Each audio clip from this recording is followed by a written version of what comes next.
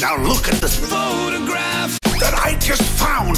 When I say glove, be ready to throw. Glove! Throw it at him, not me!